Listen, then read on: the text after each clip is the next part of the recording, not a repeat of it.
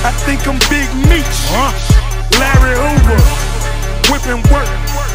Hallelujah. What's up, everyone? Nick Kiger here, Kiger Strength. And uh, today, in a couple hours, I'm going to go do a deadlift uh, centered back and traps workout. Um, I'm going to try to get some good footage of it, uh, of the whole workout, hopefully. And um, look at that. That's kind of funny. It's like a double selfie. but um, anyway, uh, let me show you what I, am having uh, kind of lunch, pre workout meal. Let me just show you that real quick. Here's what I'm having for uh, lunch. Um, very simple pasta, grilled chicken, broccoli, and olive oil. Very simple, effective, and 2% milk, about one cup. I don't like any, I don't think anyone should drink anything, you know, lower than 2% milk. You know, the skim milk and, um, you know, even low fat milk, it's kind of like taking away the properties that makes milk milk and just basically a weird colored water. So anyway, um, that's what I'm having. And um, yeah, I'll check in with you when I go to the gym. All right, so I just got to the gym. Um, about to take my pre-OG. Haven't taken this in a while, so I mean, I'm gonna actually take a full scoop and uh, see how it works. So, haven't taken a pre-OG shot to the dome in a while, so stay.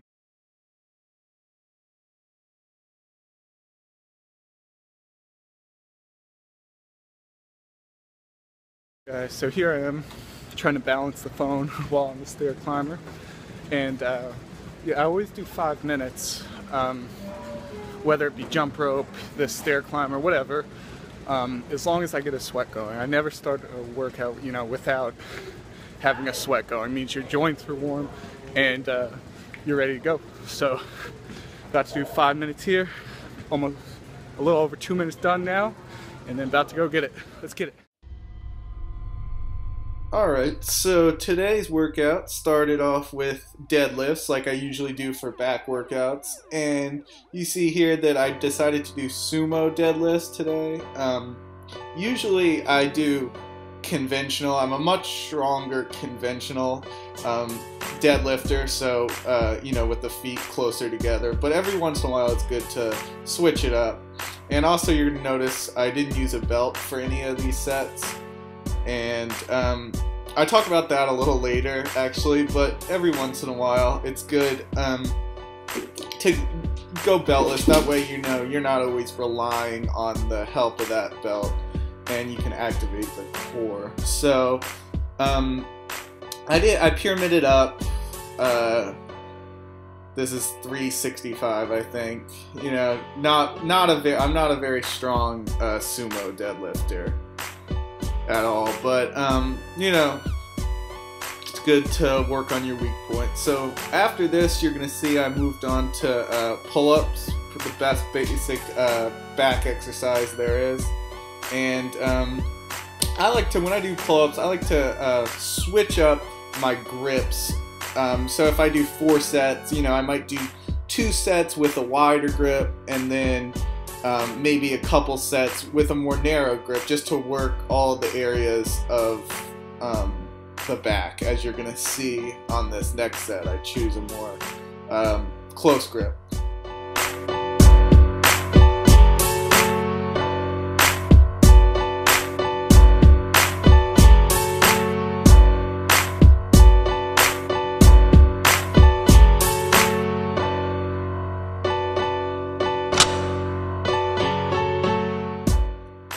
next exercise here is uh, hammer strength lat pull downs. I love these uh, hammer strength machines. I wish every gym had them. Um, this is a, a, you really feel a great stretch in the lats using this machine, and you can really um, pinch those shoulder blades together at the bottom of each rep. So definitely one of my favorite machines, and I highly recommend you give it a try if you have it at your local gym.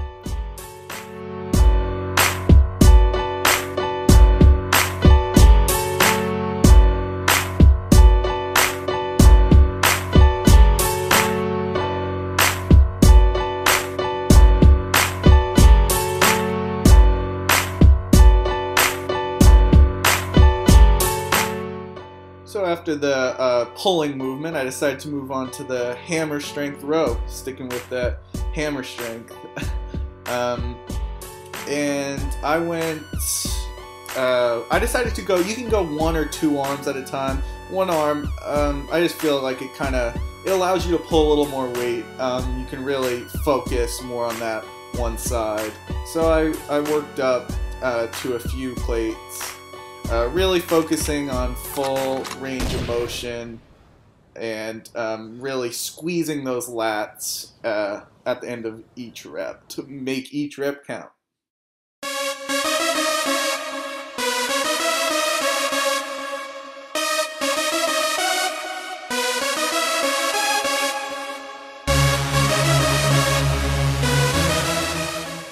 Next, I decided to do the good old fashioned dumbbell row.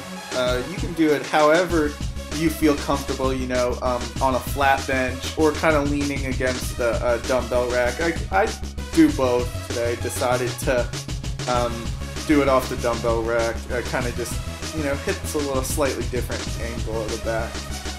And uh, um, again, on these ones, really important no swinging or jerking of the body.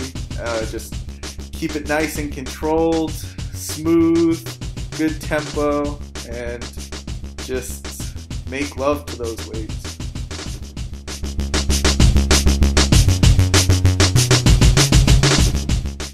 Here I paid homage to my Olympic lifting side with some snatch grip shrugs, really kill the traps, just like uh, any Olympic movement really does.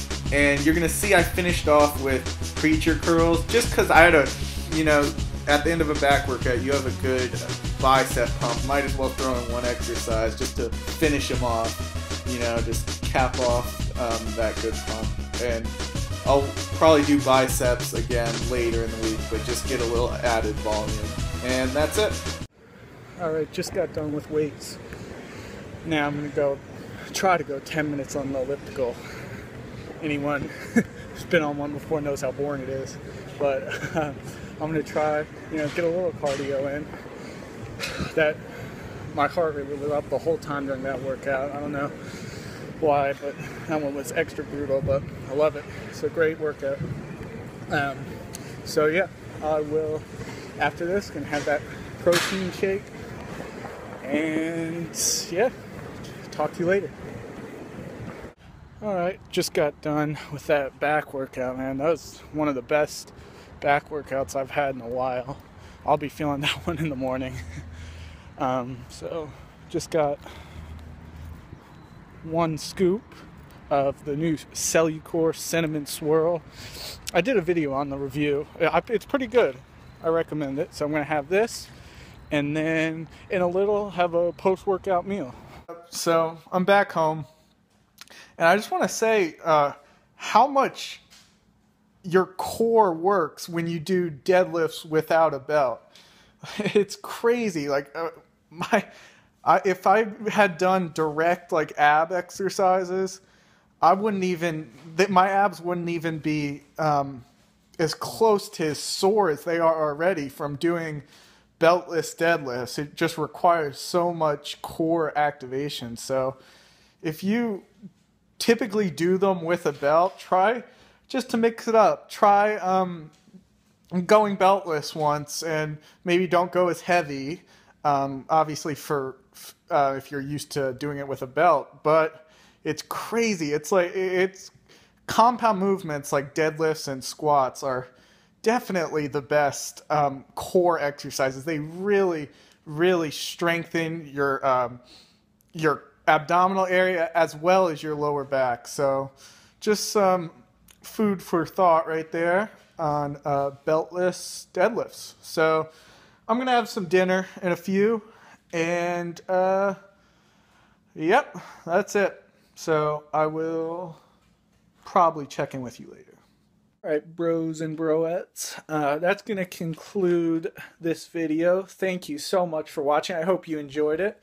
Um, yeah, so if you liked it, please um, subscribe, like the video, all that stuff. And um, yeah, I'll see you next time. Thanks for watching. Uh. Uh.